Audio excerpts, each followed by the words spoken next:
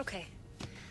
Okay, we can salvage this. We've gone through a lot together. Too much to keep saying things that we can't take back. And we're family. We're not family.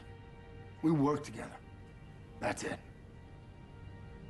Jane is my family.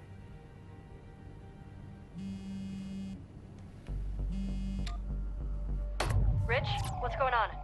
We're all getting arrested. What? Nash is here. He's put out an all-agency alert. We're being blamed for the attack. What are you talking about? Madeline's secret Helios plan is a frame job against us, and it worked. I gotta go. It says we're working with Dominic to cause the blackout. We killed him to be our fall guy. There's a video of Patterson and Rich paying Kathy to hack the power grid. She must have been secretly recording us. Tell me you didn't give her any money. It was for her wedding. As a bribe.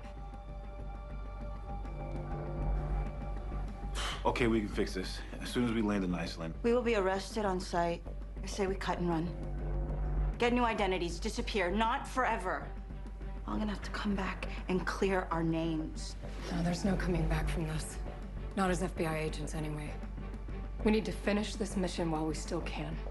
We know who's doing it, we know where she is. If we don't at least try and stop her, we're just making more selfish choices. Even if I agreed with that, how the hell are we gonna do that?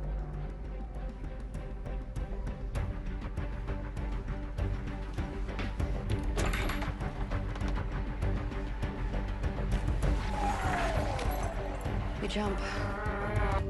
Okay, uh, one of Rich's dark web friends is gonna meet us on the ground. Okay, so can we trust this guy or not? TBD. His name is Ice Cream, and he's friends with Rich, so. Five twenty sells us out. What about the pilots? They're gonna know we jumped. But they won't know where we're landing.